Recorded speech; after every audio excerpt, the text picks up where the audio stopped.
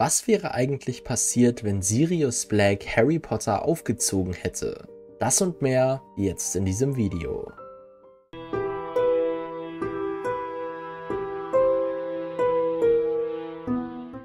In diesem Video werden wir besprechen, wie Harry Potters Leben verlaufen wäre, wenn er von seinem Patenonkel Sirius Black aufgezogen worden wäre und nicht von den Dursleys. Aber bevor wir uns damit beschäftigen, wie anders Harrys Leben gelaufen wäre, wollen wir zunächst einmal kurz erläutern, wie es zu diesem Szenario kommen könnte.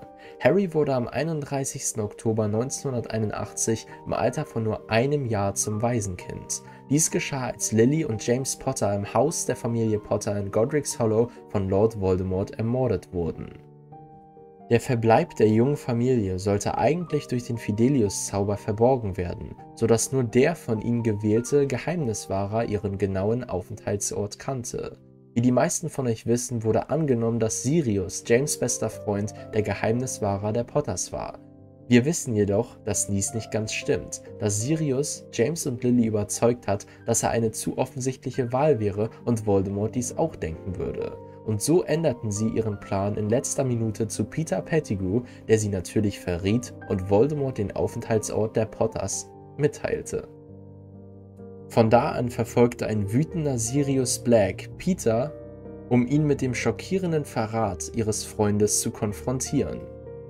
Wurmschwanz beging bei dieser Begegnung einen Massenmord, verwandelte sich in seine Animagus-Form, also eine Ratte, und floh.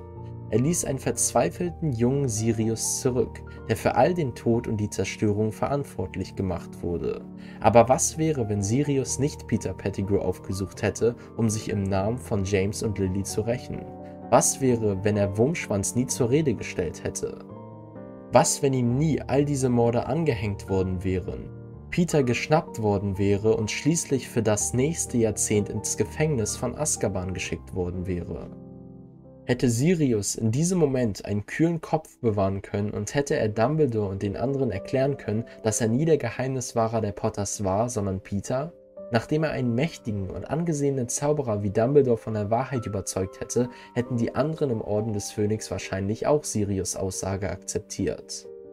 Da Sirius Name zumindest in den Augen des Ordens reingewaschen wäre, wäre die nächste Frage, wer würde Harry aufziehen? Es ist durchaus möglich, dass Dumbledore immer noch die Dursleys als Möglichkeit in Betracht ziehen würde. Aber wenn man bedenkt, wie wenig überzeugend Hagrid und McGonagall von diesem Arrangement waren, als Sirius als Vormund nicht in Frage kam, ist es sehr wahrscheinlich, dass die Idee, Harry in Petunias und Vernons Obhut zu geben, ziemlich schnell verworfen werden würde. So blieb Sirius die offensichtliche Wahl. Sirius Black, ein junger Mann von nur 22 Jahren, hätte also die Vormundschaft für den kleinen Harry erhalten, zumindest aus der Sicht des Ordens. Das Zaubereiministerium wäre vielleicht nicht so leicht von Sirius Unschuld überzeugt gewesen, vor allem wenn Wurmschwanz in jener Nacht noch immer verschwunden war. Ich denke also, dass der Orden Sirius geholfen hätte, einen sicheren Ort zu schaffen, um den jungen Harry aufzuziehen. Meiner Meinung nach wäre die wahrscheinlichste Option das Haus von Sirius Vorfahren gewesen in Grimmauld Place 12. Aber hätten Sirius und der restliche Orden Harry überhaupt dort schützen können? Und heißt das also, dass Harry quasi öffentlich mit viel Aufmerksamkeit aufgewachsen wäre? Nun eigentlich nicht wirklich, denn Harry hätte ein behütetes Leben gehabt und wäre in einem vorwiegend von Muggeln bewohnten Stadtteil in London aufgewachsen.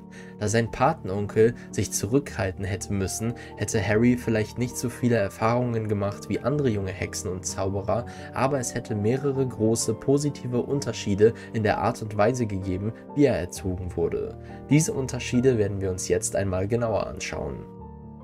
Fangen wir an mit der Nummer 1. Zuallererst wäre Harry in einem liebenden Zuhause aufgewachsen. Verglichen mit den emotionalen und körperlichen Misshandlungen, die Harry in der Obhut der Dursleys erlitten hat, wäre Harry mit dem Gefühl aufgewachsen, geliebt und umsorgt zu werden. Das hätte sein ohnehin schon mitfühlendes Wesen noch verstärkt und das hätte ihm bei seinem Eintritt in seinem ersten Jahr in Hogwarts etwas Selbstbewusstsein gegeben. Als zweites haben wir, dass Harry schon in jungen Jahren gelernt hätte, auf einem Besen zu fliegen.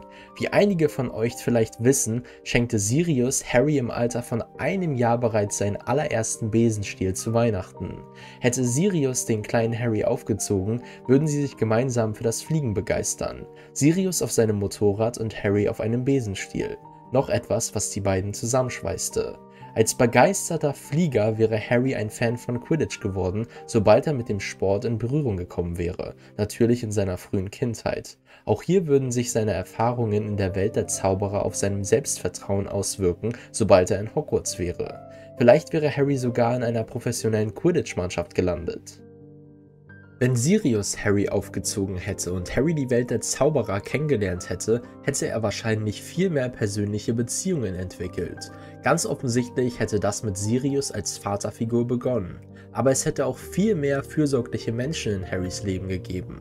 Dumbledore hätte vielleicht von Zeit zu Zeit vorbeigeschaut. Natürlich wäre Remus Lupin ein Mitglied der Rumtreiber und James und Sirius guter Freund für ihn da gewesen. Harry wäre auch mit anderen jungen Hexen und Zauberern bekannt gemacht worden. Vielleicht hätte er sogar die Weasley-Kinder kennengelernt, bevor er Hogwarts besuchte, und zwar durch die Verbindung des Orden des Phönix. Als nächstes auf der Liste, und das ist ein weiterer wichtiger Punkt, würde die Erziehung durch Sirius bedeuten, dass Harry wüsste, dass er ein Zauberer ist. Er hätte gewusst, wer Lord Voldemort war und was in dieser schrecklichen Nacht mit seinen Eltern geschehen war. Er würde wissen, woher die Narbe auf seiner Stirn stammt. Er hätte gewusst, wie seine Eltern aussahen, was Harry ein viel besseres Selbstbewusstsein gegeben hätte, als er zu einem jungen Mann heranreifte, womit wir uns bei unserem nächsten Punkt befinden. Der letzte Unterschied, den ich erwähnen möchte, obwohl es viele mehr sein könnten, ist, dass Harry, wenn er von Sirius aufgezogen worden wäre, er wahrscheinlich alles über den Unfug erfahren hätte, den sein Vater und sein Patenonkel als Schüler getrieben hatten.